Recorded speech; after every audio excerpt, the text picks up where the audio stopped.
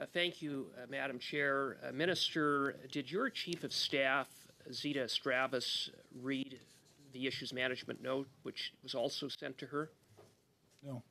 I, my understanding is no. Okay. I, I, I wouldn't testify for her, Thank but, but I asked and she said no. Okay. Thank you very much. Minister, through you, Madam Chair, you have had a history uh, over the last two meetings that you have appeared before this committee in providing inaccurate testimony. On June 1st, you said that the issues management note was withheld by you as part of an operational decision by CSIS, which you now concede uh, is not the case, that there was an intent that you uh, see that issues management note. Uh, you said in answer to a question that I posed to you that the issues management note had not been sent to you, even though I have a redacted copy of the issues management note that clearly indicates that it was sent to you. The fact that you didn't read it, the fact that it went into a big black hole, is an entirely different matter, Minister. And, Madam Chair, Minister, you uh, seem to make a big deal about accessing a secure terminal. Uh, you cited that this would have been transmitted to a secure terminal in the Deputy Minister of Public Safety's office. Can you confirm that your office and the Deputy Minister's office, at which this secure terminal is located, are at the 19th floor of 269 Laurier? I don't know where the secure terminal is, but Mr. Cooper, if, if I wrote you a letter and wrote your name on the letter and then put it back in my briefcase and never told you the letter existed and never showed it to you and given, didn't give you access to my briefcase, I think we could assume that you didn't know that I'd written you the letter. Minister, you mean to tell me you don't know where the secure terminal is on the same floor as your office uh, in the Deputy Minister's office? How is that? Is that, is that an answer that lends itself confidence on the part of Canadians that you had a grip on fulfilling your responsibilities and receiving information in this case on a matter of high importance involving a member of parliament who was being targeted by Beijing? Really, Minister? Yeah, really, Mr. Cooper. Really, Mr. Cooper, that office was not, that terminal is, is on the other side of the building. I do not have access to it.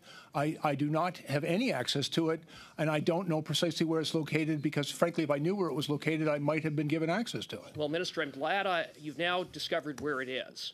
Uh, but, but Minister, uh, had you not thought to go down the hall? Had you, had you, you, you talk about this expectation, an expectation that led to this issues management note going into a big black hole. Uh, had you directed your officials to bring to your attention issues management notes on matters of high importance that were addressed to you? Did you ever instruct them to bring those memos to your attention? I mean, how, how is it possible? I mean, how, how can you be told? Do you, do you have to be told to read documents that are sent to your attention? Do you have to be told by officials before you bother to do so? Mr. Cooper, just to be really clear, I have to be advised that, that there's a memo that needs to be read, and it was not in this case. The, direct, the director did not advise me in every other circumstances, and I had that job for two years. In every other circumstances, the director would notify my office that he had top secret information that he needed to convey to me. He would convene a meeting that I would attend in a secure facility, and that information would be shared. That did not happen in this case. And on, there were a few other occasions, twice, by the way, in that month, where I was actually asked to go down to the Toronto office.